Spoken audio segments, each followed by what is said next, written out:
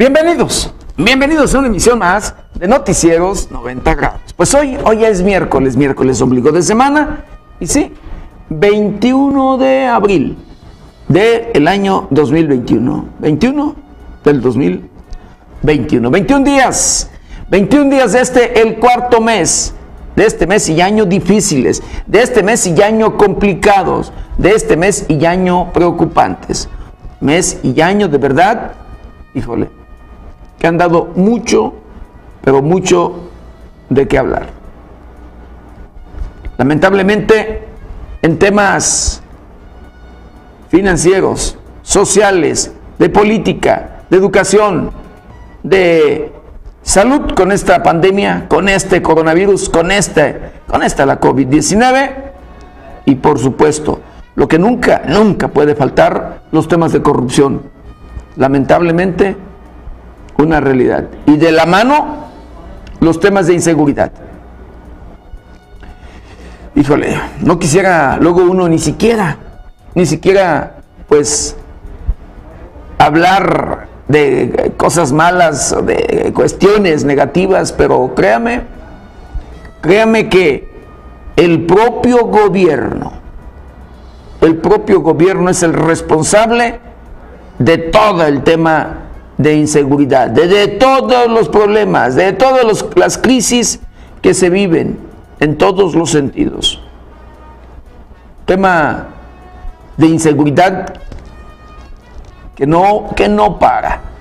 Hemos visto en Aguililla, Michoacán, en la región de Tierra Caliente, eh, en estos días, luego de que el propio gobernador, de que el propio gobernador reconociera, escuche usted, luego de una agresión que cometió que en contra de un profesor. Reconoce que Aguililla es un estado sin ley. Reconoce que es un estado en el que quien controla son los grupos criminales. Que en aquella región de Tierra Caliente los grupos criminales son los que sí hacen y deshacen. Tan es así que escuche usted. El propio gobernador del estado de Michoacán, luego de eh, pues, los hechos registrados de esta agresión en contra de un profesor que se manifiesta ya en este municipio de Tierra Caliente, mandó arreglar las carreteras, mandó reparar las carreteras y el mismo día, el mismo día que la repararon, los grupos criminales volvieron a ser de las suyas. Los grupos criminales volvieron a dañarlas con maquinaria pesada, con esta maquinaria eh, que se ocupa para la construcción, con esta maquinaria llamada eh, trascabo. Así la volvieron a, dañar. Pero no nada más con trascabos. Utilizaron también dinamita, escuche usted. Así, para dañar la carretera.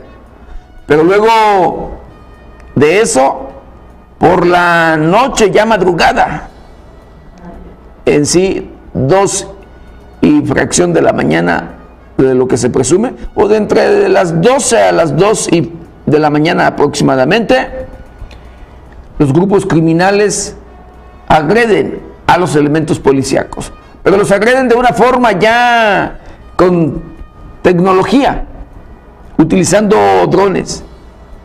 Con drones agredieron a los elementos policíacos. Dos elementos policíacos resultaron lesionados por esquirlas de pues estas estas armas, estos explosivos que por allí les lanzaron a través de drones. Imagínese usted, ya no necesita la presencia de los criminales, ya no necesita que sea los propios sicarios, los hombres armados, los que se presenten, los que vayan, agredan y ataquen, ataquen a las corporaciones policíacas. Ya lo hacen a través de artefactos, de aparatos con con artefactos y como es, son los drones. Estos drones que han sido utilizados en otros países del mundo. Estos drones que han sido utilizados en otras partes del mundo, querido Victorio, ahora también se están usando aquí en la región de Tierra Caliente, en el estado de Michoacán, en esta guerra que mantiene entre los dos grupos que controlan el estado de Michoacán. Por un lado, el cártel Jalisco Nueva Generación y por otro lado, el que tiene el control absoluto en el estado de Michoacán, de Michoacán en la mayoría del estado, los Viagras o cárteles unidos. En estos cárteles unidos donde se encuentran varios cárteles, pero que a la cabeza va los Viagras, porque es el más, el más fuerte. Estos, estos dos grupos criminales son los que hacen y deshacen. Estos dos grupos criminales son los que tienen sometidos a los habitantes, los que tienen en el miedo y terror a los habitantes de bien de aquella región de Tierra Caliente en el estado de Michoacán. Aguililla, el municipio, un municipio que pareciera como si fuera allí un lugar de guerra. Y de verdad, pues es una guerra la que se tiene entre estos dos grupos criminales. Pues allí, allí estos grupos han utilizado esta tecnología, han utilizado estos aparatos, los drones con explosivos y de esa manera es como han estado agrediendo o agredieron cuando menos en esta ocasión a el personal policiaco. Es triste y lamentable, de verdad, pero todo esto, todo esto es gracias, y repito como constantemente lo digo, a la corrupción. Porque si no hubiera corrupción, si el gobierno hiciera lo que le corresponde, si el gobierno cumpliera o hiciera cumplir la ley, créame que no estaría pasando esto. Los grupos criminales por supuesto que no, no se excederían. Los grupos criminales, por supuesto, que respetarían a las autoridades, la ley y autoridades.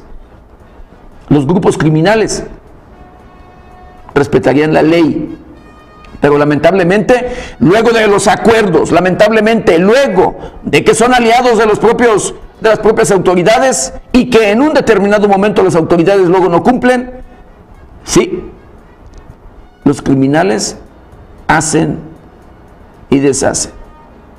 Es triste y lamentable, pero bueno, es una realidad, una realidad que se vive y que se ve en los diferentes rincones del estado de Michoacán, pero en particular en la región de Tierra Caliente.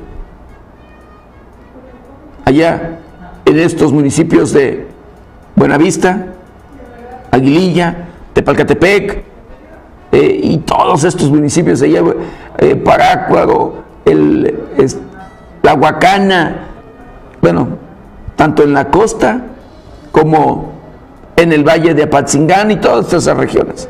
De verdad, es y lamentable, pero bueno, una realidad y que al gobierno, escuche usted, no le ha importado en lo absoluto el que los habitantes pidan a gritos justicia y seguridad. Que a los habitantes no, no les ha, no son escuchados por los propios autoridades. Que el gobierno, el gobierno del Estado ignora, ha ignorado, como siempre lo ha hecho, a estos, a la gente de bien, a la gente trabajadora, a estas personas que han sido extorsionadas de manera constante por los propios criminales, que les cobran cuota por todo, aquellos que son productores de algún fruto, de limón, de mango hablando de esa región de Tierra Caliente, o de cualquier, cualquier producto agrícola, le cobran por hectárea una cuota mensual. Esto independientemente de una cuota que luego cobran por familia. Así como usted lo escucha. En muchas de las ocasiones ellos dicen que es para comprar armas, para comprar vehículos, para blindar sus vehículos de manera artesanal, para hacerlos de estos vehículos que se conocen como monstruos. Supuestamente, escuche usted lo que les dicen, para cuidar, proteger y velar por la seguridad e integridad de las propias familias. Eso es lo que los propios criminales dicen, pero las cuotas son obligatorias, así como usted lo escucha. E incluso